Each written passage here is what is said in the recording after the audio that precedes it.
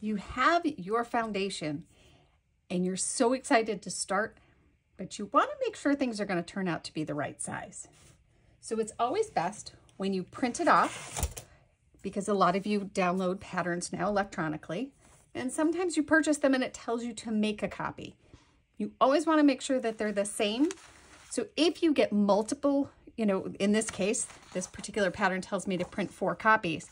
You want to make sure all four copies come the same way. So you either print them all from the original file or you copy them all, but don't mix and match because they can be different sizes. So almost all patterns should come with this mark here or something similar to it. It's a registration mark.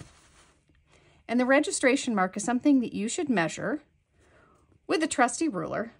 And it says it should measure one inch by one inch. And as you can see here, mine does measure one inch by one inch. So I know I have the right size.